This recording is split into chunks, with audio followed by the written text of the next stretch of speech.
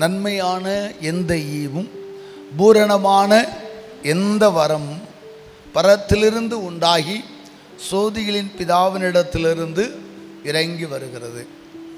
சொல்லப்போனால் எந்த ஒரு ஆசீர்வாதங்களாக இருந்தாலும் அங்கே பார்க்கிறோம் நன்மையான எந்த ஈவும் பூரணமான எந்த வரமும் பரத்திலிருந்து உண்டாகி ஜோதிகளின் பிதாவினிடத்திலிருந்து இறங்கி வருகிறது. நன்மையான எந்த ஈவும் ஈவுன்னா என்னது? அரும் கொடைகள் நன்மைகள். ஈவு என்பது கிருபையாய் நமக்கு கிடைக்கிற ஆசீர்வாதங்கள். அதே போல் பூரணமான எந்த வரமும் ஆவிக்குரிய ஆசீர்வாதங்கள். அப்போ உலக பிரகாரமான ஆசீர்வாதங்கள் ஆவிக்குரிய ஆசீர்வாதங்கள் பரத்திலே உண்டாகிறது. பரம்னா என்னது? பரலோகம். பரலோகத்திலே உண்டாகிறது. அது உண்டாகி ஜோதிகளின் பிதாவினிடத்திலிருந்து ஏற்ற வேளையில் இறங்கி வருகிறது. அல்லேலூயா புரியுதா? நல்ல கவனிங்க. மீண்டும் சொல்கிறேன் நம்முடைய பிள்ளைகள் சிறு பிள்ளைகள் வச்சுடுங்களேன். அந்த சிறு பிள்ளைகளுக்கு நாம் கிச்சனில் என்ன செய்யணும்னு தெரியாது. பிள்ளைங்க நினைக்கும் அம்மா என்னையை விட்டுட்டு தொட்டிலில் ஒத்தையில் விட்டுட்டு கட்டிலில் விட்டுட்டு போயிட்டாலே போயிட்டாலேன்னு அழுது கொண்டு இருக்கும் ஆனால் அந்த அம்மா எங்கே போயிருப்பாங்கன்னா அந்த பிள்ளைக்கு முழிச்ச உடனே உணவு கொடுப்பதற்காய் ஒரு செர்லாக்கை கலக்கிட்டு இருப்பாங்க அல்லது ஒரு பாலை காய்ச்சிக்கிட்டு இருப்பாங்க. ஆனால் பிள்ளைக்கு தெரியாது. எங்கள் அம்மா என்னை விட்டுட்டு போயிட்டாங்களேன்னு சொல்லி அழுதுகிட்டு இருக்கோம். ஆனால் அந்த தாய் என்ன செய்கிறதுன்னா அங்கே ஒரு கிச்சனில் அந்த பிள்ளைக்கு உணவை ஆயத்தப்படுத்தி கொண்டிருக்கிறது. ஆயத்தப்படுத்தி கொண்டிருப்பாங்க. அடுத்து அதை எப்போது கொண்டு வருவார்கள்? அவர்களுக்கு தெரியும் எப்போது கொடுக்கணும்னு சொல்லி. அந்த நேரத்துக்கு சரியான நேரத்துக்கு என்ன செய்வாங்க? கொண்டு வருவார்கள். தூங்கிட்டு இருக்கிற பிள்ளை எழுப்பி கொடுக்க மாட்டாங்க. பிள்ளைங்க முழிச்ச உடனே கொடுப்பாங்க. சில நேரம் பிள்ளை ரொம்ப தூங்குதுன்னா சில தாய்மார்கள் பாசத்தில் தூக்கத்தை கூட கலைச்சி கொடுப்பாங்க. பெரும்பாலும் சிறு பிள்ளைகளை தூக்கத்தில் எழுப்பக்கூடாதுமாங்க அதே போல் கொஞ்சம் பலவீனமானவர்கள் நரம்பு தளர்ச்சி உள்ளவர்கள் அல்லது இந்த மாதிரி சில சைக்காட்டிஸ்டாக கொஞ்சம் மைண்ட் அளவில் உடல் அளவில் பாதிக்கப்பட்டவங்கள சடன்லியாக என்ன செய்யக்கூடாது எழுப்பக்கூடாதுமாங்க இது. சரிங்களா? அப்போ அங்கே ஆயத்தமாக்கப்பட்டிருக்கோம் தாய்மாரால் ஆனால் அதை எப்போ கொடுக்கணுங்கிறது அவங்களுக்கு தெரியும். சரியான நேரம் கொடுப்பாங்க. அதே போல் தான் நீங்களும் நானும் ஆண்டவராக இயேசுவை ஏற்றுக்கொண்டு அவரை சொந்த ரட்சகராக ஏற்றுக்கொண்டு நாம் சபைக்குள் வரும்போது நமக்காக ஒரு ப்ராசஸ் நமக்காக ஒரு திட்டத்தை தேவன் பரலோகத்தில் உருவாக்குகிறார். அல்லேலூயா பரலோகத்தில் நன்மையான ஈவும் பூரணமான வரமும் உருவாகிறது. ஆண்டவர் அதை ஏற்ற வேளையில் என்ன செய்கிறாராம்? நம்மிடத்தில் கொண்டு வந்து சேர்க்கிறார். ஜோதிகளின் பிதாவினிடத்திலிருந்து இறங்கி வரும். எந்த ஒரு ஆசீர்வாதங்களானாலும். பிரியமானவர்களே இந்த உலகத்தில் நாம் ஒரு காரியத்தையும் அறிந்து கொள்ள வேண்டும். நமக்கு வர வேண்டிய நன்மைகள் வீடு வாங்கணுமா? கடன் அடைக்கணுமா? அல்லது நம்முடைய கஷ்டங்கள் மாறணுமா? பொருட்கள் வாங்கணுமா? எந்த ஒரு நன்மை நடக்கனாலும் முதல்ல நம்ம யாரை பார்க்கணும்? பரலோகத்தை பார்க்கணும். அதனால தான் ஏ சுவாமி அழகாக ஜபத்தை கற்றுக் கொடுக்குறார். பரலோகத்தில் இருக்கிற எங்கள் பிதாவே. நம்ம அந்த ஜபத்தை நாம் ஏறெடுக்கும் போது பார்க்குறோம். ஃபஸ்ட்டு எடுக்கிற வார்த்தை அதுதான். அதே போல் இயேசு கிறிஸ்தனுடைய ஊழியங்களில் பார்க்கும்போது அவர் எப்போதும் தேவனை நோக்கி ஜெபிக்கிறவராய் பரத்தை நோக்கி மண்டாடுகிறவராய் இருக்கிறார். கத்சமனை தோட்டத்தில் கூட ஆண்டவராய் இயேசு மிகுந்த மனவியாகலத்தோடு ஜெபிக்கிறார். என்ன ஜெபிக்கிறாரு? ஆண்டவரே இந்த பாத்திரம் என்னை விட்டு நீங்க கூடுமானால் நீங்கட்டும் ஆயிலும் என் சித்தத்தின்படி அல்ல உம்முடைய சித்தத்தின்படி ஆகட்டும் என்று பரலோகத்தை நோக்கி ஜெபிக்கிறார். ஸோ அந்த ஜெபம் முடியும் போது என்ன நடந்துச்சா? பரலோகத்திலிருந்து தேவ தூதர்கள் இறங்கி வந்து இயேசுவை பலப்படுத்தினார்கள். கரங்களை தட்டி ஒரு அலையிலேயே சொல்லுவோம். அலையிலூயா அப்போ தேவ தூதர்கள் எங்கே இருக்கிறாங்க? பரலோகத்தில் அல்ல நம்மை சுற்றி இருக்கிறாங்க. நாம் பரலோகத்துக்கு கட்டளையிடும்போது நடக்குது. நம்முடைய தேவன் பரலோகத்தில் இருக்கிறார். அவரை நோக்கி நாம் பார்க்கும்போது நடக்கிறது. அதே போல் மத்திய சுவிசேஷத்தில் இயேசு உபவாசம் இருந்து நாற்பது நாள் வனாந்தரங்களில் அவர் சத்ருவை ஜெயிக்கிற போதும் அப்படிதான். சோதனைக்காரன் ஆண்டவராய் இயேசுவை மூன்று முறை சோதிக்கிறான். மூன்று விதமான சோதனைகளை கொடுக்கிறான். அந்த சோதனை முடிந்து அப்பாலே போ சாத்தானே என்று கத்ராயி ஆண்டவர் சாத்தானை கடிந்து கொண்டார். சாத்தான் அப்பால போயிட்டான். அவருக்கு ரொம்ப டயர்டு ஃபார்ட்டி டேஸ் ஃபாஸ்டிங்கில் ரொம்ப சோர்வு. பிசாசு போன மறு செகண்டில் வேதம் சொல்லுகிறது தேவ தூதர்கள் இயேசுவை பலப்படுத்தினார்கள். அலே லூயா அன்பானவர்களே நாம் பலகீனப்படுகிற போதெல்லாம் நாம் சோர்ந்து போகிற போதெல்லாம் நம்ம வாழ்க்கையில் எந்த பிரச்சனை வரட்டும் நம்முடைய கண்கள் பரலோகத்தை ஏறெடுக்கணும். அலே லூயா கத்தரையே ஏறெடுக்கணும்.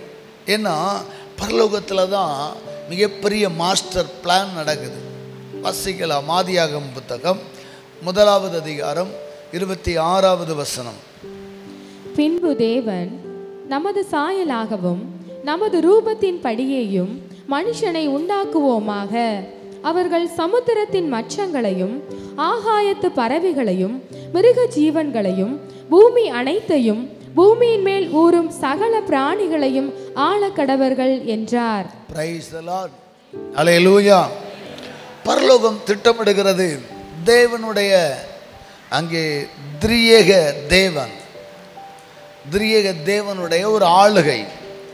தேவன் சொல்லுகிறார் நமது சாயலாக. நமது ரூபத்தின்படியே மனுஷனை உண்டாக்குவோமாக. அவர்களுக்காக இந்த பூமியில் சகலவற்றையும் படைத்து அவர்களை ஆள வைக்க வேண்டும்.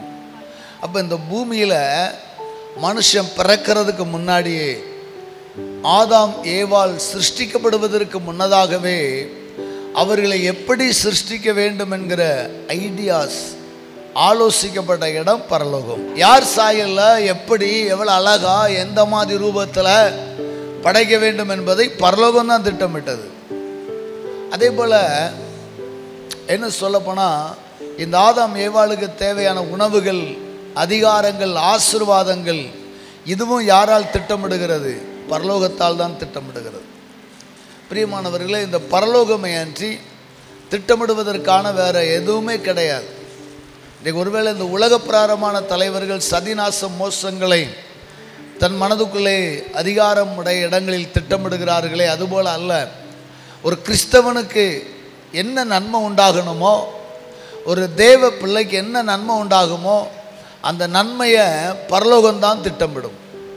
நீங்கள் ஜெபிக்கலாம். ஜெபிக்கிறது மட்டும்தான் உங்கள் வேலை. திட்டமிடுவதெல்லாம் கத்தருடைய வேலை. அல்லேலூயா. ஒருவேளை நீங்கள் உங்கள் பிள்ளைகளுக்காக ஒரு நல்ல வேலையை செய்ய வேண்டும் என்று கருதுகிறீர்கள். வைத்துக்கொள்ளுங்கள் வாலிப பிள்ளை இருக்கிறது அந்த பிள்ளைக்கு ஒரு நல்ல கணவனை பார்க்க வேண்டும் நல்ல மணவாளனை பார்க்க வேண்டும் நல்ல மணவாட்டியை பார்க்க வேண்டும். நீங்கள் திட்டமிடலாம். அதற்காக நகைகள் சேர்க்க வேண்டும் சேர்க்கலாம். கடினமாய் உழைக்கலாம். ஆனால் வாய்க்க பண்ணுகிறது கர்த்தர். அலையலூயா உங்கள் பிரயாசத்தினால ஒன்றும் கிடையாது. ஆமாம் உங்கள் பிரயாசத்தினால ஒன்றுமே கிடையாது. கடந்த வாரங்களில் ஒரு சகோதரி ஜெபிக்க வந்தாங்க வெள்ளிக்கிழமை. ஐயோ பாவம் அவங்க வீட்டில் அண்ணனுக்கு கல்யாணம் ஆகலை ஒரு அக்காளுக்கு கல்யாணம் ஆகலை சிஸ்டர் சிஸ் கல்யாணம் எல்லாம் முப்பத்தஞ்சு வயசு முப்பத்தெட்டு வயசு வரை கல்யாணம் ஆகலை. நாலு பேர் கல்யாணம் ஆகலை. ரொம்ப வேதனையோடு ஜெபிக்க வந்தாங்க. கஷ்டமாக இருக்குது என்ன பயங்கரமான ஒரு சாபத்தினுடைய கூறுகள். ஜெபிப்போம் சிஸ்டர் கவலைப்படாதீங்க அப்படின்னு சொல்லி ஜெபித்து விட்டேன். ஏன்னு சொன்னால் உண்மையாகவே திருமண தடைகளாகட்டும் வேலைகள் விஷயமாகட்டும் கர்ப்பத்தின் கனிகளாகட்டும் இதை நம்ம பெற்றுக்கொள்ளவே முடியாது. பரலோகம் தான் திட்டம் பண்ண வேண்டும். ஆமாம் தேவனுடைய மனுஷி இல்லை ராகேல் கத் அஹ், இடத்துல மண்டாடுறது எனக்கு பிள்ளை கொடும் சொல்கிறேன் நான் இந்த தேவனா? நானா கடவுள்? கத்தரளவா உன் கற்பத்தை அடைச்சிருக்கிறாரு அப்படிங்கிறான். அப்போ பிள்ளை கொடும். ஆணும் பெண்ணும் சேருவதினால் பிள்ளை அல்ல கர்த்தர் தான் கொடுக்கணும். அதான் கற்பத்தின் கனி கத்தரால் வரும் சுதந்திரம் என்று வேதத்தில் பார்க்கிறோம். கற்பத்தின் கனியாகட்டும் கையின் பிரயாசங்களாகட்டும் நமக்கு ஒரு பதவி உயர்வாகட்டும் நம்முடைய வியாபார செழிப்பாகட்டும் குடும்பத்தில் திருமண வாழ்க்கையாகட்டும் நாம் ஒரு நிலம் வாங்குவதாகட்டும் ஒரு வீட்டை கட்டுவதாகட்டும் எல்லாம் யாருடைய கரத்தில் இருக்கு? கர்த்தருடைய கரத்தில். ஆமென் சொல்லுங்களேன். அது பரலோகத்தில் திட்டமிடுகிறது. பரலோகம் ஏற்ற வேளையில் இறங்கி கொண்டு வருகிறது. அலை லூயா ஆதியாகமம் பதினொன்றாவது அதிகாரம் நாலாவது வசனத்திலிருந்து நீங்கள் படிப்பீர்களேனால் இங்கே பரலோகம் ஒரு வேலையை திட்டமிடுகிறது. ஆனால் அந்த வேலைக்கு மாறாக மக்கள் வாழ்ந்து கொண்டிருக்கிறார்கள். பரலோகம் என்ன வேலையை திட்டமிட்டதென்றால் கடவுளால் படைக்கப்பட்ட ஜனங்கள் இந்த தேசத்தை நிரப்ப வேண்டும். சொல்லுங்க தேசத்தை நிரப்ப வேண்டும். பழுகி பெருக வேண்டும். கடவுள் படைத்த சகல பூமியை நிரப்ப வேண்டும். அதுதான் பரலோகம் திட்டமனின காரியம். ஆனால் இந்த மக்கள் என்ன செய்தார்களாம்? நமக்கு பேர் உண்டாக்கும்படி நாம் ஒரு கோபுரத்தை உண்டாக்குவோம் என்று கட்டினார்கள். அல்லேலூயா என்ன செய்தார்களாம்? கோபுரத்தை கட்டினார்கள். அங்கே தேவனுடைய ஆவியானவர் அங்கலாய்க்கிறார். அந்த பகுதியை நாம் வாசிக்கும்போது ஆதியாகமும் எடுத்துக்கொள்ளுங்க. எல்லாரும் எடுத்தீங்களா? பதினொன்றாவது அதிகாரத்தில். ஐந்தாவது வசனத்தை நாம் வாசிக்க கேட்போம். மனுபுத்திரர் கட்டுகிற நகரத்தையும் மனுபுத்திரர் கட்டுகிற நகரத்தையும் கோபுரத்தையும் பார்க்கிறதற்கு கோபுரத்தையும் பார்க்கிறதற்கு கர்த்தர் இறங்கினார். கர்த்தர் இறங்கினார். இறங்கி தான் பார்க்கணும்னு அவசியம் இல்லை. மேலேருந்தே தெரியுது. சரிங்களா? அங்கே சொல்லப்படுகிறது அந்த மனிதர்கள் நாலாவது வசனத்தில் நாம் பூமியின் மீதெங்கும் சிதறி போகாதபடிக்கு நமக்கு ஒரு நகரத்தையும் வானத்தை அளாவும் சிகரமுள்ள ஒரு கோபுரத்தை கட்டி நமக்கு பேருண்டாக பண்ணுவோம் வாருங்கள் என்று சொல்லி கொண்டார்கள். அலையலூயா ஆமாம் நமக்கு ஒரு பெர்மனண்ட் சிட்டி ஒரு பெரிய டவர் கட்டி நமக்கு ஒரு பேரை உண்டாக்க வேண்டும். டவர் கட்டுவதெல்லாம் நமக்கு பேருண்டாக்குவதற்காக பேருண்டாக்குவதற்காக மிகப்பெரிய டவரை கட்டுறதுக்கு பிளான் பண்ணிட்டாங்க. டவரை கட்ட ஆரம்பிச்சிட்டாங்க. இப்போ என்ன நடக்குது? கத்தர் பார்க்குறார். கத்தர் பார்த்துட்டு இறங்கி போய் பார்க்க போகிறேங்கிறார் ஒருவேளை ஆண்டவருக்கு தெரியாதா? மேலேருந்து பார்க்க தெரியுது. சரி இருந்தாலும் எவ்வளோ ஸ்டைலாக கட்டுறாங்கிறத ஆண்டவர் பார்க்கிறார். மனுபுத்திரர் கட்டுகிற நகரத்தையும் கோபுரத்தையும் பார்க்கிறதற்கு கத்தர் என்ன செய்தாராம்? ஏ சொல்லுங்க இறங்கினார். ஒரு விஷயத்தை தெரிஞ்சிடுங்க. நீங்கள் இந்த பூமியில் எதெல்லாம் கட்டுறீங்களோ அதையெல்லாம் பார்க்கறதுக்கு ஆண்டவர் இறங்குகிறார். நீங்கள் ஆண்டவருக்கென்று ஒரு ராஜ்யத்தை கட்டுவீர்களேனால் ஆண்டவருக்கென்று அற்புதமான ஆத்துமாக்களை கட்டி எழுப்புவீர்களேனால் அதை பார்க்கும்படி ரசிக்கும்படி ஆண்டவர் இறங்குகிறார். நீங்கள் அக்கிரமத்தை செய்யும்படி அநியாயத்தை செய்யும்படி அநியாயத்தை விதைக்கும்படி செய்தாலும் கர்த்தர் இறங்கி பார்க்குறார். அதற்குரிய பலனை கர்த்தர் கொடுப்பார். அல்லேலூயா அப்போ தேவன் இறங்குகிறார். நம்முடைய தேவன் எங்கேயோ பரலோகத்தில் இருக்கிறாரு எட்டாத உயரத்தில் இருக்கிறார் நம்ம நினச்சிட்டு இருக்கக்கூடாது நம்மளை ஆசிர்வதிக்கிற நேரமும் இறங்குறார். நாம் செய்கிற செயல்களை கண்காணிக்கும்படி இறங்குகிறார். தேவன் இறங்கினார். அல்லேலூயா இறங்கி பார்த்தாரு ஆண்டவருக்கு அது கஷ்டமாயிடுச்சு. ஆண்டவருக்கு அது கஷ்டமாயிட்டு இப்பொழுதும் தாங்கள் செய்ய நினைத்தது ஒன்றும் தடைபடாதிருக்கிறார்கள் என்று சொல்லி நாம் இறங்கி போய் அவளுடைய பாஷையை தாறுமாறாக்குவோம் என்று சொல்லி கத்தர் இறங்கி வந்து பாஷைகளை தாறுமாறாக்கினார். அப்போ தான் முதல்ல மொழி பிரிக்கப்படுகிறது. அதுவரை ஒரே மொழி ஒரே பாஷையில் பேசினார்கள். பாபேல் கோபுரத்தை கட்டும்போது தான் கத்தர் பாஷைகளை பிரிக்கிறார். இப்போ ஒருத்தன் சாந்து கொண்டு வாங்க ஒருத்தன் சட்டியை கொண்டு போகிறான் ஒருத்தர்கிட்ட செங்கல் கேட்குறாரு கொத்தனார். இவன் தண்ணியை கொண்டு போகிறான் லாங்குவேஜ் புரியலை. அப்போ அதில் ஏன் லாங்குவேஜ் யாருக்கு புரியுதோ அவங்க போகிறான் ஏன் கூட. அடுத்த சகோதரனுடைய லாங்குவேஜ் யாரோட புரிஞ்சுதோ அவங்கெல்லாம் ஒரு டீம் இப்படியாக பிரிய ஆரம்பித்தார்கள். தேசங்களில் பல்லுகி பெருகணும். அதுதான் கடவுளுடைய திட்டம். இப்படியாக தேவன் தலையிடுகிறதை நாம் பார்க்கிறோம். அன்பானவர்களே நம்முடைய ஆண்டவர் பரலோகத்தில் வீற்றிருக்கிறவர் ஏதோ மௌனமாக இருக்கிறார் என்றல்ல. உனக்காக சகலவற்றையும் செய்து கொண்டிருக்கிறார். நீ செய்கிற தவறுகளை கண்டிக்கும்படி இறங்கி வருகிறார் பல்வேறு காரியம் நடக்குது. இன்றைக்கி வேகமாய் ஒரு சில காரியத்தை மட்டும் முடிக்கலாம். யாக்கோபு என்கிற பக்தனுடைய விஷயத்தில் பரலோகத்தின் தேவனின் ஈவுகளும் பரலோக தேவனின் நன்மைகளும் கடந்து வந்ததை சுருக்கமாய் பார்க்கலாம். ஆதியாகம் புத்தகம் இருபத்தி எட்டாவது அதிகாரத்தில் நாம் பார்க்கிறோம். எடுத்துட்டீங்களா ஆதியாகமம் இருபத்தி எட்டு. யாக்கோபு தன் தமையனுக்கு பயந்து தகப்பனுக்கும் பயந்து அவன் ஊரை விட்டு ஓடி வரும்போது லாபானை நோக்கி புறப்படுகிறதான அந்த வேளையில் சாரி ஆரானை நோக்கி புறப்படுகிற அந்த வேளையில் அவன் ஒரு இடத்திலே தங்குகிறான். இருபத்தி எட்டு பத்து. பதினொன்றாவது சனத்திலே ஒரு இடத்தில் வந்து சூரியன் அஸ்தமித்தபடியினால் அங்கே ரா தங்கினான். அங்கே இரவு தங்குகிறான். அந்த வசனங்களை எப்படி என்னோடு கூட சேர்ந்து படித்து கொண்டே வாருங்கள். இருந்தால் என்ன முதல் ஆராதனை கம்யூனியன் சர்வீஸ் வேறு இருக்குது ஷார்ட்டாக முடிக்கலாம். அப்போது அவன் தலைக்கு ஒரு கல்லை வைத்து நித்திரை செய்து கொண்டிருக்கிறான். அப்பொழுது ஒரு சொப்பனம் காண்கிறான். பன்னிரெண்டாவது சனத்தில் அந்த சொப்பனத்தில் அவன் கண்ட காட்சி ஒரு ஏணி பூமியிலே வைக்கப்பட்டிருந்தது. அதனுடைய நுனி வானத்தை எட்டி இருந்தது அதிலே தேவதூதர்கள் ஏறுகிறவர்களும் இறங்குகிறவர்களுமாய் கண்டான். அன்பானவர்களே யாக்கோபுவின் சொப்பனத்திலே காணப்பட்ட ஒரு ஏணி. அந்த ஏணியில் தேவதூதர்கள் ஏறுகிறவர்களும் இறங்குகிறவர்களுமாய் இருக்க கண்டான். அவனுக்கு ஆச்சரியமாக இருக்கிறது. இந்த ஏணியில் தூதர்கள் ஏறுகிறதையும் இறங்குகிறதையும் பார்க்கிறான். அப்பொழுது அந்த ஏணி அவன் அண்ணாந்து பார்த்து கொண்டிருக்கிறது வேளையில் எல்லா உச்சிக்கு மேலாக கத்தராய் ஆண்டவர் நின்று பேசுகிறார். பதிமூன்றாவது வசனம். வாசிங்க. அதற்கு மேலாக கர்த்தர் நின்று நான் உன் தகப்பனாகிய ஆபிரகாமின் தேவனும் ஈசாக்கின் தேவனுமாகிய கர்த்தர் நீ படுத்திருக்கிற பூமியை உனக்கும் உன் சந்ததிக்கும் தருவேன். பிரைஸ் ஆண்டவராகிய தேவன் தகப்பனாய் ஆப்ரகாமின் தேவனும் ஈசாக்கின் தேவனுமாய கத்தர் நீ படுத்திருக்கிற பூமியை உனக்கும் முன் சந்ததிக்கு தருவேன். பிரியமானவர்களே ஒரு விஷயத்தை நல்லா புரிஞ்சிடுங்க. கத்தர் ஒரு பிராமிஸ் வேர்டு கொடுக்குறாருன்னா அதுக்கு முன்னாடி உங்களுக்காக ஆயத்தம் பண்ணிவிட்டார். யாக்கோபுக்காக தேவன் இந்த பூமியை ஆயத்தம் பண்ணிட்டாரு. உனக்கு நான் தருவேன்னு சொல்லி. அல்ல லூயான் உனக்கு நான் தருவேன் அப்படின்னு சொல்லி கடவுள் ஆயத்தம் பண்ணிட்டார். இப்போ தேவ கிருபையினால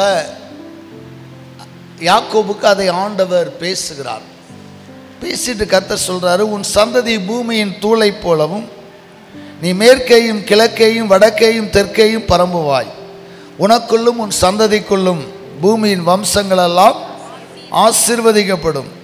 நான் உன்னோடு இருந்து நீ போகிற இடத்திலெல்லாம் உன்னை காத்து இந்த தேசத்துக்கு உன்னை திரும்பி வர பண்ணுவேன் நான் உனக்கு சொன்னதை செய்யும் அளவும் உன்னை கைவிடுவதில்லை என்றார். அல்லேலூயா ஒருவேளை நாம் கேட்கலாம் இந்த யாக்கோபு மீது ஆண்டவருக்கு ஏன் இந்த பாசம்? இந்த யாக்கோபு மீது ஆண்டவருக்கு ஏன் இந்த கரிசனை? நினைக்கலாம்ல? யாக்கோபு எப்படிப்பட்ட ஒரு சூழலில் கடவுளை சந்திக்கிறான்? அவன் தன் தகப்பனை ஏமாற்றி வருகிற வேளையில் கத்தரை சந்திக்கிறான். யாக்கோபை நாம் உலக பிராரமாய் பார்த்தால் கெட்டவன் என்று சொல்லுவோம். ஏனென்றால் அண்ணனை ஏமாற்றினான் அப்பாவை ஏமாற்றினான் இவன் மோசமானவன் என்று சொல்லலாம். ஆனால் இவன் தாயின் கருவில் உருவாகும் போதே இவனுக்கு ஒரு திட்டம் உண்டாக்கப்பட்டது. அதை நாம் மறந்து விடக்கூடாது யாக்கோப்பு தாயின் கருவில் உருவாகும் போதே அவனுடைய தாய் தேவனிடத்தில் விசாரிக்கிறாள். என்னுடைய வயிற்றில் பிள்ளைகள் ஒன்றோடொன்று மோதுகிறதே என்னவாகும் என்று அவள் விசாரிக்கிற போது கத்தர் பேசுகிறார். உன்னிடத்தில் ரெண்டு ஜாதிகள் உண்டாயிருக்கிறது. ரெண்டு இனங்கள் உன்னிடத்திலிருந்து பிரியும். அதில் ஒருவன் இளையவனை மூத்தவன் சேவிப்பான். மூத்தவன் இளையவனை சேவிப்பான். அப்படின்னா அந்த இளையவன் ஆசிர்வதிக்கப்படுவான். அந்த இளையவனை யாக்கோபு. அப்போ யாக்கோபு ஆசிர்வதிக்கப்படுவான். மூத்தவனை காட்டிலும் இந்த தேசத்தில் யாக்கோபு பழுகி பெருகுவான் என்று தேவன் வார்த்தை எப்போது கொடுத்தார்? கருவிலே. ஐம்பது கிராமம் இருக்கும்போது கொடுத்துட்டார். ஆளை எழுவியா ஐம்பது கிராமம் ஆச்சு அரை கிலோவாக இருந்துச்சு தெரில ஸோ தேவன் அப்போதே கொடுத்துட்டார். இப்போ அவன் பிறக்கிறான். அவன் பிறப்பிலே அவனுடைய சுபாவங்கள் வித்தியாசமாக இருக்கு நீங்கள் நினைக்கலாம். கடவுளுடைய திட்டம். அப்போ இவன் வந்து பார்த்தீங்கன்னா மாமா வீட்டுக்கு போகிறான் அண்ணங்காரன் அடிச்சு விடுவான்னு சொல்லி அண்ணனுக்கு பயந்து ஓடி போகிறான் ஓடி போகும்போது கத்தர் சந்திக்கிறான். நான் உன்னை ஆசிர்வதிப்பேன். நான் உன்னை உயர்த்துவேன். அப்படின்னு கத்தர் பேசுகிறார். அவனுக்கு சந்தோஷம் தாங்க முடியல உடனே ஒரு பொருத்தனை செய்கிறான். வேகமாய் வாசிக்கலாம். அப்பொழுது யாக்கோபு இருபதாவது வசனத்தில் அப்பொழுது யாக்கோபு தேவன் என்னோடே இருந்து நான் போகிற இந்த வழியிலே என்னை காப்பாற்றி உண்ண ஆகாரமும் உடுக்க வஸ்திரமும் எனக்கு தந்து என்னை என் தகப்பன் வீட்டுக்கு சமாதானத்தோடே திரும்பி வர பண்ணுவாரானால் கர்த்தர் எனக்கு தேவனாயிருப்பார். நான் தூணாக நிறுத்தின இந்த கல் தேவனுக்கு வீடாகும். தேவரீர் எனக்கு தரும் எல்லாவற்றிலும் உமக்கு தசம பாகம் செலுத்துவேன் என்று சொல்லி பொருத்தனை பண்ணி கொண்டான் தேவன் சந்தித்த அந்த இடத்திலே அவன் தலையில் வைத்திருந்த அந்த கல்லை எடுத்து நிறுத்தி எண்ணெயை ஊற்றி அதை அபிஷேகித்து அந்த கல்லை அடையாளமாய் நட்டுகிறான். அடையாளமாய் நட்டிவிட்டு அவன் ஒரு வார்த்தை சொல்லி ஜெபிக்கிறான். ஆண்டவரே நான் தேவனை நீர் என்னோடு இருந்து நான் போகிற வழியிலெல்லாம் என்னை காப்பாற்றி உண்ணுவதற்கு ஆகாரமும் உடுப்பதற்கு நல்ல வஸ்திரமும் எனக்கு தந்து மீண்டும் என்னை என் தகப்பன் வீட்டுக்கு உயிரோட சுகத்தோட பலத்தோட திரும்பி வரப்பண்ணுவீரானால் கத்தரே எனக்கு தேவனாயிருப்பார். அது மாத்திரமல்ல நான் தூணாக நிறுத்தின இந்த இடத்தில் இந்த அடையாள சின்னமாய் நிறுத்தின இந்த இடத்தை ஒரு பலிபீடமாய் கட்டுவேன். கர்த்தர் எனக்கு தருகிற எல்லாவற்றிலும் காணிக்கையில் தசம பாகங்கள் செலுத்துவேன் என்று சொல்லி பொருத்தனை பண்ணி கொண்டான் அலையலூயா இப்போது கடந்து செல்லுகிறான். நன்றாய் கவனிங்கள் ஆண்டவர் ஏன் அவனை சந்தித்தான்? ஏமாற்றுக்காரன் என்று நாம் கருதலாம். ஆனால் கருவிலே கற்றுக் கொடுத்த வாக்கு தத்துவம் இன்றைக்கு கூட நிறைய ஏமாத்துறவங்களெல்லாம் கடவுள் ஆசிர்வதிக்க காரணம் என்ன தெரியுமா? கருவிலே கொடுத்த வாக்கு தத்துவம் சில மக்கள் நினைப்பாங்க இவன் மோசமானவன். உலகத்துக்கு மோசமானவங்களா தெரியும். ஆனால் கத்தர் சில பேரை தெரிந்து கொண்டிருப்பார். ஏற்ற வேளையில் ஆண்டவர் அவர்களை சரி செய்வார். இப்போ கவனிங்க ஆண்டவர் அவனை அனுப்புகிறார். இவன் தன்னுடைய மாமன் வீட்டுக்கு கடந்து செல்கிறான். அங்கே என்ன நடந்தது என்பதை நாம் படித்திருக்கிறோம். அங்கே மாமனுடைய பிள்ளையை கட்டுகிறான் இளைய பிள்ளை நேசிக்கிறான். ஆனால் மாமன் மூத்த பிள்ளை கொடுத்துட்றாரு சரி மூத்த பிள்ளை கேட்டுட்டு அப்புறம் இளைய பிள்ளைக்காய் ஆடுகளை மேய்க்கிறான். இரண்டு மறுமனையாட்டிகளை கொடுக்கிறார். ஆக மொத்தம் நான்கு மனைவிகள் ஆகிவிட்டது. பனிரெண்டு பிள்ளைகளாகிறது. பதினோரு பிள்ளைகள். பன்னிரெண்டாவது பிள்ளைங்க வெளியே வந்து பிறக்குது. ஸோ இந்த சூழலில் அந்த யாக்கோபு ஏமாற்றப்படுகிறான். யாக்கோபுனுடைய மாமா அவனை ஏமாத்துறார். யாக்கோபுக்கு கொடுக்க வேண்டிய சம்பளத்தை பத்து முறை மாற்றுகிறான். ஆமாம் எப்படியெல்லாம் லா யாக்கோபை ஏமாத்தணுமோ ஏமாற்றிக்கிட்டே இருக்கிறான். ஒரு நாள் ஆண்டவர் இந்த யாக்கோபோடு பேசுகிறார். வாசிக்கலாம் முப்பத்தி ஒன்று பதினொன்று. அன்றியும் தேவதூதன் ஒருவர் சொப்பனத்திலே யாக்கோபே என்றார். இதோ இருக்கிறேன் என்றான். அப்பொழுது அவர் உன் கண்களை ஏறெடுத்துப் பார். ஆடுகளோடே பொழியும் கடாக்கள் எல்லாம் கலப்பு நிறமும் புள்ளியும் வீரியமும் உள்ளவைகளாய் இருக்கிறது. லாபான் உனக்கு செய்கிற யாவையும் கண்டேன். பிரைஸ் த லாபான் உனக்கு செய்கிற யாவையும் கண்டேன்.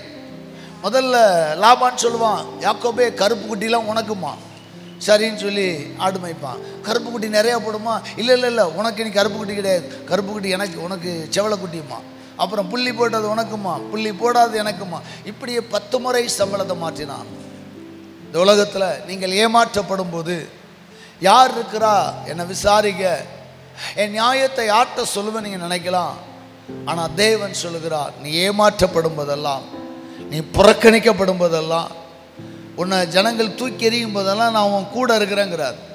அந்த வசனத்தில் கத்தர் அப்படி தான் பேசுகிறார் லாபான் உனக்கு செய்கிற யாவையும் கண்டேன். ஆலே லூயா யாக்கோபே உன் மாமா உனக்கு செய்கிற எல்லா துரோகத்தை கண்டேன்.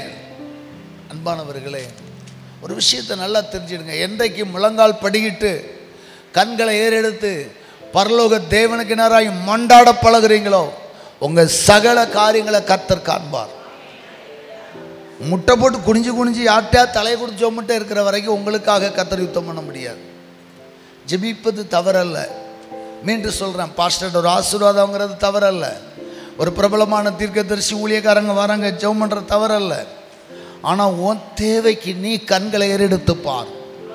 உன்னுடைய பிரச்சனைகளுக்கு நீ பரலோகத்தை நோக்கி பார். உன் வாயை திறந்து நீ ஜெபிக்க பழகு. உன் வாயை திறந்து ஆண்டவரோட பேசி பழகு. யாக்கோபுக்கு யார் சொல்லி கொடுத்தா? தகப்பனை விட்டு அண்ணனை விட்டு ஓடி போகிறான் பொருத்தனை பண்ணு நாங்கள் எங்கேயாவது பாஸ்டர்னு சொல்லி கொடுத்தாங்களா? சொல்லுங்க யார் பாஸ்டர் இருந்தா? அப்போ அந்த நாட்களில் தேவ மனிதர்கள் இருந்திருக்கிறாங்க. ஏன்னா ஈசாக்கனுடைய மனைவி ரெபேக்கால் கத்திரடத்தில் விசாரிக்கும்படி போனால் அப்படின்னு இருக்கு அப்போ இங்கே யாரோ ஒரு ஆசாரியன் இருந்திருக்கிறான் எழுதப்படலை. அதே போல் அங்கே நாம் பார்க்கிறோம் ஆப்ரஹாம் யாருக்கு தசமாக கொடுத்தான் மெல்கி சதேக்கு அப்போ மெல்கி சதேக்கு மாதிரி அப்புறம் யாரோ ஒருத்தர் இருந்திருக்கிறாங்க. அதனால் கொஞ்சம் வேத அறிவு அவனுக்கு கிடச்சிருக்கு. கொஞ்சம் வெளிச்சம் கிடச்சிருக்கு. என்ன வெளிச்சம்னா கத்திரிடத்துல நாம் கேட்டால் கத்தை நம்மளை ஆசிர்வதிக்கும் போது அவருக்கு நாம் கொடுக்கணும். பொருத்தனை பண்ணி ஜெபிக்கணுங்கிற வெளிச்சம் யாக்கோபுக்கு கிடச்சிது. அல்ல நம்ம அநேக நேரங்களில் ஒரு நபருடைய சுபாவத்தை பார்த்து கெட்டவன் என்று தீர்மானித்து விடுகிறோம். யாக்கோபை கெட்டவனாக சித்தரித்து நிறைய பிரசங்கங்களை நான் கேட்டிருக்கிறேன். ஆனால் யாக்கோபனுடைய நற்குணங்களை யாருமே சொன்னது அதிகமாக நான் கேட்டதில்லை. எத்தனை ஏமாற்றுக்காரம்பாங்க எங்க அவன் எத்தனை இருந்தாலும் கடவுள்கிட்ட ஜெபிக்கிறான் பாருங்க ஆண்டவரே நீர் என்னை சந்தித்த இந்த இடத்துக்கு நான் திரும்ப சுகத்தோடு வருவேனே ஆனால் எனக்கு நான் போகிற இடத்துலலாம் உண்ண உணவும் உடுக்க வஸ்திரமும் தந்து என்னை காப்பாற்றுவீரானால் இந்த கல் தேவனுக்கு வீடாகும். நான் நிறுத்தின அந்த ஸ்தலத்தில் கத்தருக்கு பணிந்து கொள்ள வருவேன். கத்தரை ஆராதிப்பேன். கத்தாவே உமக்கு தசம பாகம் செலுத்துவேன் என்று பொருத்தனை செய்தான். ஆலையிலூயா அந்த பொருத்தனை தாங்க அவனை தேடி வருது. கத்தரை சொல்றார் பாருங்க. இன்னொரு இடத்துல சொல்கிறேன் ஆண்டவர் சொல்கிறார் லாபான் உனக்கு செய்கிற யாவையும் கண்டேன். பதிமூன்றாவது வசனத்தை படிங்க. இப்பதான் ஆண்டவர் தெளிவா சொல்றார். நீ தூணுக்கு அபிஷேகம் செய்து. எனக்கு ஒரு பொருத்தனையை பண்ணின பெத்தேலிலே உனக்கு தரிசனமான தேவன் நானே. இப்பொழுது நீ எழுந்து இந்த தேசத்தை விட்டு புறப்பட்டு உன் இனத்தார் இருக்கிற தேசத்திற்கு திரும்பி போ என்று சொன்னார் என்றான். ஆலை லூயா கத்தர் சொல்லுகிறார் யாக்கோபே நான் யார் தெரியுமா? நீ தூணுக்கு அபிஷேகம் செய்து எனக்கு ஒரு பொருத்தனை பண்ணின பெத்தலிலே உனக்கு தரிசனமான அந்த தேவன் நானே. அலே லூயா அலே லூயா நன்றாய் கவனிங்கள். காணிக்கை பற்றி பேசின உடனே பேன்றாதீங்க என்னடா ஏதோ பேசுகிறேன் காணிக்க பொருத்தனை என்பது ஒரு எஃபெக்டிவான ஒரு காரியம். பழைய ஏற்பாட்டில் நிறைய விஷயங்கள் நம்ம படிக்கிறோம். ஆண்டவர் இப்படி சொல்லாம யாக்கோபே நான் உன் தகப்பனுடைய தேவன். ஆப்ரஹாமின் தேவன் ஈசாக்கின் தேவன். ஏன்னா ஆபிரகாம் ஈசாக்குக்கு வாக்கு கொடுத்துருக்கிறாரு. உன் சந்ததி ஆசீர்வதிப்பன். அதனால் நான் வந்தேன். அப்படி சொல்லலை. இப்போ என்ன சொல்கிறாரு எனக்கு நீ பொருத்தனை செலுத்தினாய் அல்லவா? நீ தூணுக்கு அபிஷேகம் பண்ணி எனக்கு ஒரு பொருத்தனை செய்தாய் அல்லவா? அந்த பெத்தலிலே உனக்கு தரிசனமான தேவன் நானே. அலையலூயா அலையலூயா உன் மாமா உனக்கு செய்கிற எல்லா துரோகத்தை கண்டு வந்திருக்கிறேன்.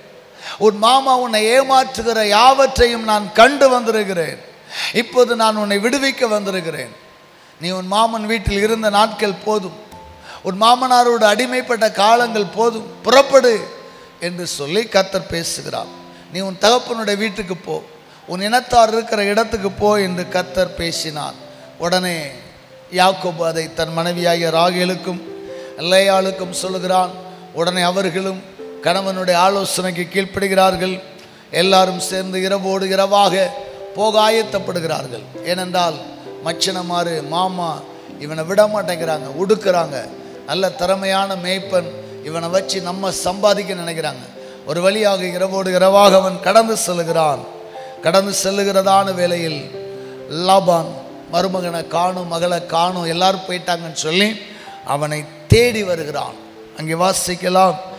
இருபத்தி ரெண்டாவது வசனம் யாக்கோபு ஓடி போனது மூன்றாம் நாளிலே லாபானுக்கு அறிவிக்கப்பட்டது.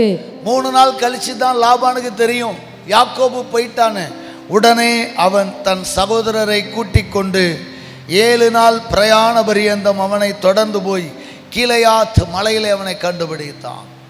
கீழையாத் மலை உச்சிலிருந்து பார்க்குறான் பள்ளத்தாக்கில். யாக்கோபின் குடும்பம் ஒரு பெரிய கோத்திரமாக அவனுடைய ஆடு மாடுகள் இருக்கிறது. பார்க்குறான் சரி காலையில் பார்த்துக்கலான்னு சொல்லி தூங்கிட்டு காலையிலே போய் மருமகனை சண்டை போட்டு மருமகனுடைய ஆஸ்திகளெல்லாம் பிடுங்கலாம் அப்படின்னு நினச்சிட்டு இருக்கிறான். கத்தராயி ஆண்டவர் அன்று ராத்திரி சீரியா தேசத்தானாகிய லாபானுக்கு சொப்பனத்தில் தோன்றினார். நாம் ஆராதிக்கிற தேவன் நம்மோடு மாத்திரம் பேசுகிறவர் அல்ல நம்முடைய எதிரிகளோடு பேசுகிற தேவன் என்பதை மறந்து விடாதிருங்கள். அலை லூயா அவர் நமக்கு தேவன் நமக்கு சகாயம் பண்ணுவார் நம்மோடு பேசுவார். ஆனால் நமக்கு விரோதமானவர்களை கலங்கடிக்கிற தேவன் நமக்கு விரோதமானவர்களை அச்சுறுத்தும் ஆண்டவர். பிரைஸ் அலை லூயா அலையலூயா லாபானுக்கு தரிசனமானார். யாக்கோபுக்கு தரிசனமானது ரைட்டு. ஏங்க லாபானுக்கு தரிசனமானார். அதான் கடவுளுடைய திட்டம்.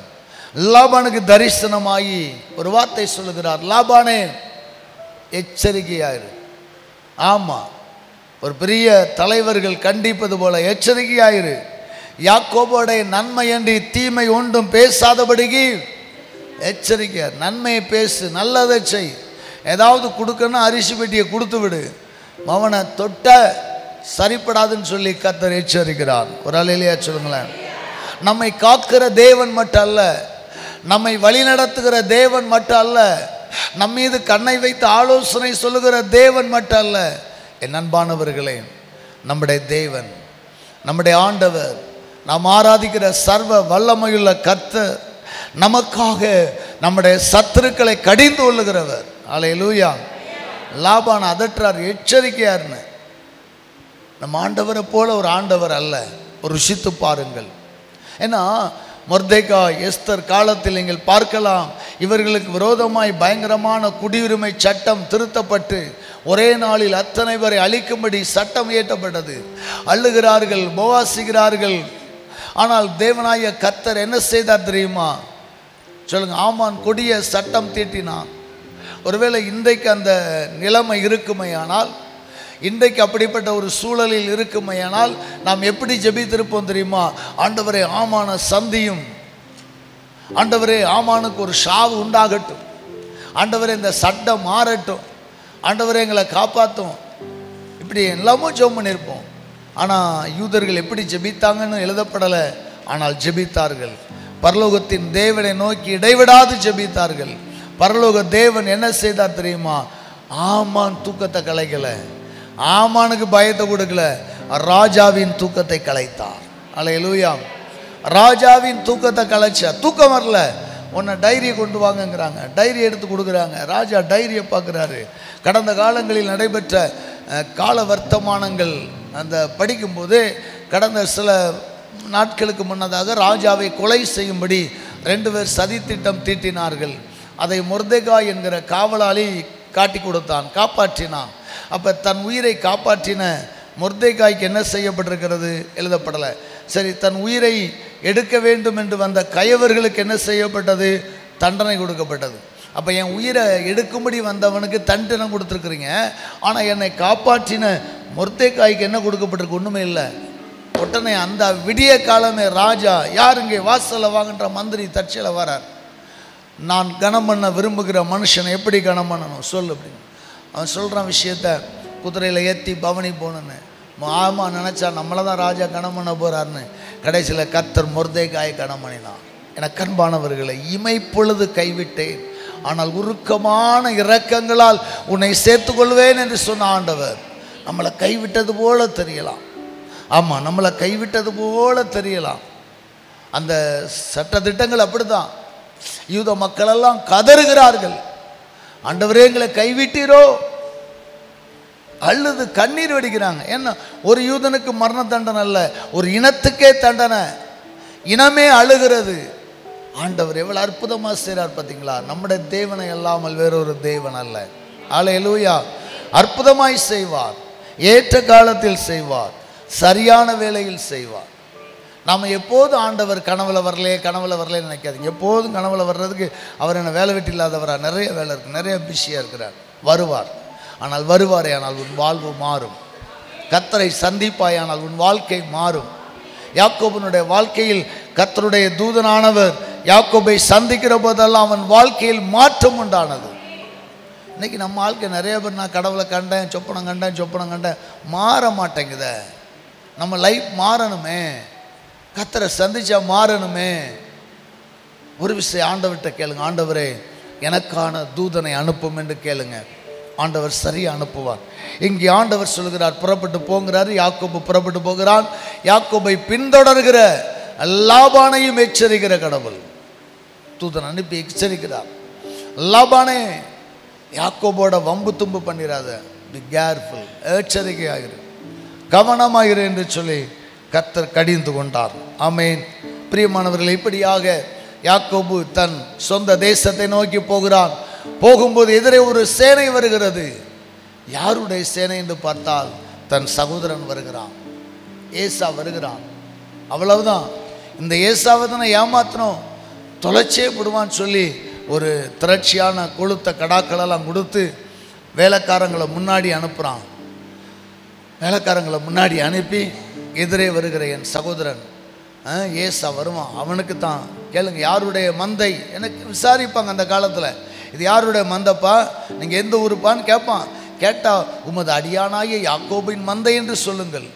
இது உமக்கு யாக்கோபு கொடுத்தார் என்று சொல்லுங்கள் சொல்லிட்டு கொடுத்து முன்னாடி விட்டுட்டு அவன் பொழுது தணிகிற போது தேவனோடு ஜெபிப்பான். அன்பானவர்களே அங்கே அவன் பயங்கரமாய் ஜெபிக்கிறான்.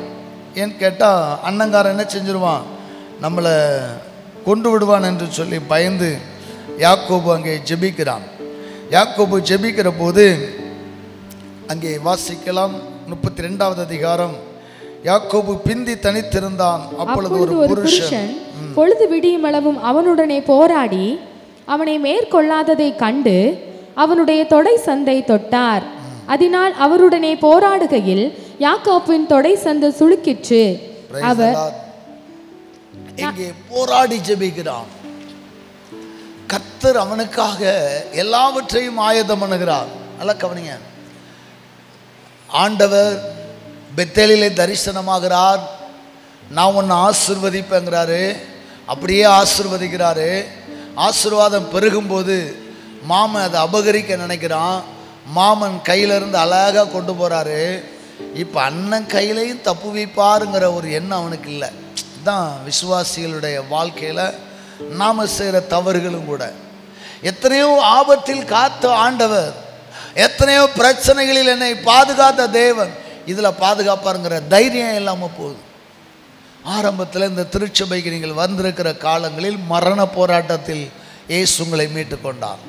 பயங்கரமான மரணத்துக்கு எதுவான போராட்டத்தில் கடவுள் உங்களை மீட்டு கொண்டார். ஆனால் இன்றைக்கு ஒரு சாதாரண பிரச்சனை ஒரு பொருளாதார பிரச்சனை. இதில் ஆண்டவர் மீட்டு கொள்ளுவாருங்கிற விசுவாசம் ஏன் இல்லாமல் போச்சுது? ஒரு சின்ன பஞ்சாயத்து. இதில் ஆண்டவர் மீட்டு கொள்ளுவாருங்கிற தைரியம் ஏன் இல்லாமல் போச்சுது? யாக்கோபு பயத்தில் தான் அழுறான். ஆண்டவர் அங்கே ஜெபிக்க சொல்லி அழலை. கத்தர் ஜெபிக்க சொன்னாரா? உன் சகோதரன் வாரான். நீ ஊக்கமாக ஜெபம் பண்ணு. இல்லைன்னா உன்னை கொன்றுவான்னு சொன்னாரா? இல்லை இவனுக்குள்ள ஒரு பயம். ஏன்னா ஒரு குற்ற உணர்வு அண்ணனை ஏமாத்திட்டோம். ஒருவேளை அண்ணன் நம்மளை கொன்றுவாங்கிற பயத்தில் அவன் ஜெபிக்கிறான். ஆனாலும் தேவ தூதனோடு போராடுகிறான். விட மாட்டேங்கிறான் பொழுது தேவ தூதன் சொன்னான் போகட்டும். பொழுது விடுகிறது என்றார். ஆனால் நீர் என்னை ஆசிர்வதித்தாலொழிய உம்மை போக விடேன் என்றான். அலையலூயா. அப்பொழுது ஆண்டவர் உன் பேர் என்ன? யாக்கோபு எனப்படாமல் இஸ்ரவேல் எனப்படும். நீ தேவனோடும் போராடி மனிதரோடும் போராடி மேற்கொண்டாயே என்று சொல்லி அவனை ஆசீர்வதித்தார் அலையலூயா அப்பொழுது யாக்கோபு நான் தேவனை முகமுகமாய் கண்டேன் உயிர் தப்பி பிழைத்தேன் என்று சொல்லி அந்த ஸ்தலத்துக்கு பெனியல் என்று பெயரிட்டு மறுபடி அவன் கடந்து செல்கிறான். அண்ணனை சந்திக்கிறான். அண்ணன் ஆற தழுவி அன்பை பகிர்ந்து கொள்ளுகிறான். அண்ணன் வந்து அவனை அடிக்கலை அவனை கொல்லலை. சரின்னு சொல்லி யாக்கோபு அந்த இடத்தை விட்டு கடந்து சென்று அண்ணனை சந்தித்த பின்பு பதினேழாவது வசனத்தில் சுக்கோத் என்கிற இடத்துக்கு போகிறான் சுக்கோத் என்கிற இடத்துல அவன் கடந்து சென்றபோது அங்கே சீகேமின் பட்டணத்துக்கு எதிரே இருக்கிற ஒரு இடத்தில் ஒரு கூடாரத்தை போட்டான். அவன் கூடாரம் போட்டு தங்குவது தவறல்ல. நாம் பஞ்சம் பிழைக்கும்படி வேலை விஷயமாய் போகிறது தவறல்ல. ஆனால் அங்கே கூடாரத்தை போட்டு தேவனுக்கு ஒரு கூடாரம் போட்டு அங்கே ஒரு பலிபீடத்தை கட்டி ஏல் ஏல் லோகே ஏல் எல் லோகே என்கிற ஒரு பலிபீடத்தை கட்டி அதற்கு பேரிட்டான். அலை லூயா அல்ல கவனிங்க அந்த யாக்கோபை உன் பொருத்தனை என்ன? கத்தாவே நீர் என்னை சந்திக்கும் போது சாரி நீர் என்னை ஆசிர்வதிக்கும் போது நீர் என்னை ஆசிர்வதித்து பெருகும்போது என் தகப்பன் வீட்டுக்கு நான் சுகமாய் திரும்பும்போது எங்கே வருவேன்? பெத்தேலுக்கு வருவேன். பெத்தேல் கடவுள் சந்தித்த இடம் ஏனிகளை கண்டான் அல்லவா? ஏறுகிறதும் இறங்குறதுமாய் கண்டான். அங்கே வந்து பலி செலுத்துவேன் தசம பாகம் செலுத்துவேன் என்று பொருத்தனை பண்ணான். ஆனால் பார்த்தீங்கன்னா இப்போ அவன் லைஃப் மாறுகிறது. ஷார்ட் பீரியடில் குறுகின இடத்துல ஒரு பலிபீடத்தை கட்டி ஏல் எல்லோகே என்று பெயரிட்டான் பேரிட்டு அந்த தேசத்தில் குடியிருக்கிறான். அடுத்த அதிகாரத்தில் பிரச்சனை ஆரம்பிக்கிறது. முப்பத்தி நாலில் அங்கே லேயால் யாக்கோப்புக்கு பிறந்த ஒரே ஒரு பெண்ணு தான் அந்த லேயால் சீகே பட்டணத்துக்குள்ளே சுற்றி பார்க்க ஆசைப்படுறான். அவள் தன் வேலைக்கார பிள்ளைகள் தோழிமார்களோடு கூட சீகேமுக்குள்ளே போகிறாள் சீகேமின் மனிதர் சீகேமின் நாட்டாமை அந்த ஊரில் பெரிய மனுஷனுடைய மகன் அவள் மீது அழகை கண்டு இச்சித்து அவளை தீட்டுப்படுத்துகிறான். அவ்வளோதான் உடனே வழுதுகிட்டு வாரா. உடனே சீகேமின் மனிதர்கள் முறையாக வந்து பெண் கேட்குறாங்க யாக்கோபை உனக்கு நிறைய ஆடு மாடு இருக்குது நீ எங்களோட பெண் கொடுத்து பெண் எடுத்தால் சேர்ந்து வாழலாம் என்று ஆலோசனை கொடுக்குறாங்க. ஆனால் அந்த ஆலோசனைக்கு அவர்கள் செவி கொடுக்கல. ஆனால் யாக்கோபு சரி பார்க்கலாம் பேசலாங்கிறான். ஆனால் அங்கே சிமியோனும் லேவியும் ஒரு ஆலோசனை கொடுக்குறாங்க. நாங்கள் விருத்த சேதனம் பெற்றவங்க. நாங்கள் விருத்த சேதனம் பெற்றவர்கள். ஆண்கள் நுனித்தோல் விருத்த சேதனம் செய்யப்பட்டவர்கள். நீங்கள் அப்படி இல்லை. நீங்களும் விருத்த சேதனம் பண்ணுனா எங்கள் தங்கச்சியை தாருன்றான். உடனே அவன் ஆசைப்பட்டு பொண்ணுக்கு ஆசைப்பட்டு அவன் மட்டும் இல்லாமல் அவன் ஊரில் இருக்கிற அம்புட்டு ஆம்பளையும் விருத்த சேதனம் பண்ணிடுவாங்க விருத்த சேதனம் பண்ணிட்டு அத்தனை பேரும் வழியால் துடிச்சிட்டு இருக்கும்போது சிமியோனும் லேவியும் பட்டயத்தை எடுத்து அந்த ஊரில் உள்ள அக சகல புருஷர்களை ஆண்களையெல்லாம் வெட்டி கொண்டு போட்டுட்டு ஊரையே தீ வச்சு போடுவாங்க. எவ்வளோ பெரிய கொலைபாதகம் பாருங்க. இப்போ யாக்கோபு அலறுகிறான். யாக்கோபு பயங்கரமாக என்ன செய்கிறான் வாசிக்கலாம். அப்பொழுது யாக்கோபு சிமியோனையும் லேவியை பார்த்து முப்பத்தி நாலு முப்பது. இந்த தேசத்தில் குடியிருக்கிற காணானியரிடத்திலும் பெருசியரிடத்திலும் என் வாசனையை நீங்கள் கெடுத்ததினாலே என்னை கலங்க பண்ணினீர்கள். நான் கொஞ்ச ஜனமுள்ளவன். அவர்கள் எனக்கு விரோதமாய் கூட்டம் கூடி நானும் என் குடும்பமும் அழியும்படி என்னை வெட்டி போடுவார்களே என்றான். அல்லேலூயா யாக்கோபு தன் பிள்ளைகளை கடிந்துள்ளுகிறான் சிமியோனையும் லேவியையும். ஐயோ என் பேரை கெடுத்தீர்களே என் வாசனையை கெடுத்தீர்களே. யாக்கோபின் பிள்ளைகள் கொலைகாரர்கள் என்கிற நிலைமைக்கு கொண்டு வந்துட்டீங்களே. கதறுகிறான். அதுக்கு அவன் சொல்கிறான் ஆமாம் அவன் மட்டும் ஏன் தங்கச்சியை வேசி மாதிரி நடத்தலாமா? நாங்கள் செஞ்சது நியாயம்தான்றான். இப்போது யாக்கோபு பயங்கர டென்ஷன் யோசித்து பாருங்க. தான் தங்கச்சியை கெடுத்ததுக்காக கெடுத்தவனை வெட்டலாம். ஆனால் இந்த படுபாவிய ஊரே அழிச்சு விட்டாங்க. ஆமாம் சீகேமின் புத்திரர்கள் சகல ஆண்களை வெட்டி பெண்களை வெட்டி ஊரையே தீ வச்சு விட்டாங்க. பயங்கர படுபாதக செயல் கொடூரமான செயல் மங்கல்ல மணிப்பூரை விட மேலே நம்ம ஆள்க செஞ்சது. ஏன்னா வைராக்கியம் பரிசுத்த வைராக்கியம். இதை செய்துட்டாங்க. நான் ஏன் சொல்கிறேன்னா இந்த செயலுக்கெல்லாம் காரணம் ஒரு சிமியோனு லேவி அல்ல ஒரு யாக்கோபின் அஜாக்கிரதை. அடுத்த அதிகாரத்தை நாம் வாசிக்கலாம். முப்பத்தி ஐந்து ஒன்றை நாம் வாசிக்கும் போதுதான் அங்கே தெரியும். தேவன் யாக்கோப்பை நோக்கி தேவன் யாக்கோபை நோக்கி நீ எழுந்து பெத்தேலுக்கு போய் நீ எழுந்து பெத்தேலுக்கு போய் அங்கே குடியிருந்து அங்கே குடியிருந்து நீ உன் சகோதரனாய ஏசாவின் முகத்திற்கு விலகி ஓடி போகிற போது நீ உன் சகோதரனாகிய ஏசாவின் முகத்துக்கு விலகி ஓடி போகிற போது உனக்கு தரிசனமான தேவனுக்கு உனக்கு தரிசனமான தேவனுக்கு அங்கே ஒரு பலிபீடத்தை உண்டாக்கு என்றார். அங்கே போய் ஒரு பலிபீடத்தை உண்டாக்கு. ஆலையிலூயா எங்க போய் பலிபீடத்தை உண்டாக்குற? ஏல் எல்லாங்கே உனக்குரியதல்ல. பெத்தேல் உனக்குரியது. பெத்தேலிலே தரிசனமானேன். பெத்தேலிலே பொருத்தனை செய்தாய். பெத்தேலிலே உன்னோடு பேசினேன். நீ பெத்தேல்ல போய் பலிபீடம் கட்டுறதுக்கு பதிலா எங்க போய் கட்டுற? சொல்லுங்க எங்க போய் கட்டுற? ஏல் எல்லாகே பேர் விடுறார். ஏல் எல்லாகேண்டு பேரிட்டு அந்த மற்றொரு இடத்துல. கடவுள் சொல்லாத சுக்கோத் என்கிற இடத்துல சீகே பட்டணத்தின் அருகில் போய் பலிபீடம் கட்டினால அதன் விளைவு அவன் குடும்பத்திற்கு மிகப்பெரிய கஷ்டத்தை உண்டாக்கிடுச்சு. இப்போ கத்தர் சொல்கிறாரு நான் உனக்கு சந்தித்த இடம் உனக்கு தரிசனமான இடம் நீ பொருத்தனம் பண்ணின இடம் அங்கே போ என்று சொன்னான். அப்பொழுது யாக்கோபு தன் வீட்டாரையும் தன்னோடு கூட இருந்த மற்ற அனைவரையும் நோக்கி உங்களிடத்தில் இருக்கிற அந்நிய தெய்வங்களை எல்லாம் விலக்கி போட்டு உங்களை சுத்தம் பண்ணிக்கொண்டு கொண்டு வஸ்திரங்களை மாற்றுங்கள். நாம் எழுந்து பெத்தேலுக்கு போவோம் வாருங்கள். எனக்கு ஆபத்து நேரிட்ட நாளில் நான் என் விண்ணப்பத்துக்கு உத்தரவரளி செய்து நான் நடந்த வழியிலே என்னோடு கூட இருந்த தேவனுக்கு அங்கே ஒரு பலிபீடத்தை உண்டாக்குவேன் என்றான். அலையலூயா அலையலூயா பிரியமானவர்களே யாக்கோபு தேவனிடத்திற்கு திரும்ப வருகிறான். தன் மனைவி பிள்ளைகளை சொல்லுகிறான் எல்லாரும் உங்களை சுத்தம் பண்ணுங்கள். உங்களை பரிசுத்தமாக்குங்கள். நான் ஆபத்து நாளில் நான் ஆபத்து நேரிட்ட நாளில் என் விண்ணப்பத்துக்கு உத்தரவு அருளி செய்து நான் நடந்த வழியில் என்னோடு கூட இருந்து என்னை காத்து வழிநடத்தின ஆண்டவருக்கு ஒரு பலிபீடத்தை கட்டுவோம். வாருங்கள் என்று சொல்லி பெத்தேலுக்கு சென்றான். அன்புக்குரியவர்களே இன்றைக்கு நம்முடைய வாழ்க்கையில் நிறைய நேரங்களில் நாம் பெத்தேலை மறந்து விடுகிறோம். பெத்தேலை மறந்து விடுகிறோம். கர்த்தர் சந்தித்த இடத்தை மறந்து விடுகிறோம். கத்தர் நம்மை ஆசிர்வதித்த இடத்தை மறந்து விடுகிறோம்.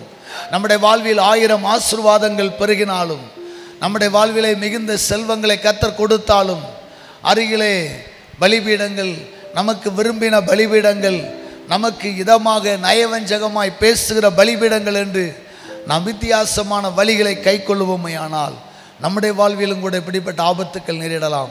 எச்சரிக்கையாக இருப்போம் பலிபீடத்தில் நாம் செய்த பொருத்தனைக்காக கூடவே வருகிற ஆண்டவர். அதைத்தான் நான் வலியுறுத்துகிறேன். கண்களை மூடி நாம் ஜெபிக்கலாம். யாக்கோபு பெத்தேலிலே ஆண்டவருக்கு ஒரு பொருத்தனை செலுத்தினதினால் கத்திரவனை சந்திச்சுக்கிட்டே இருக்கிறார் பாருங்க. அவனை விடாம தொடர்றார் பாருங்க. அன்பானவர்களே நீங்கள் ஆண்டவருக்கு செலுத்துகிற பொருத்தனை உங்களை பாதுகாக்கும்.